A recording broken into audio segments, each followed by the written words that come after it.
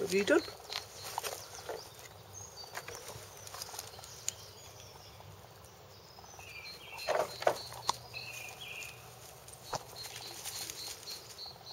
You buried it, have you? Buried your bone? Very clever.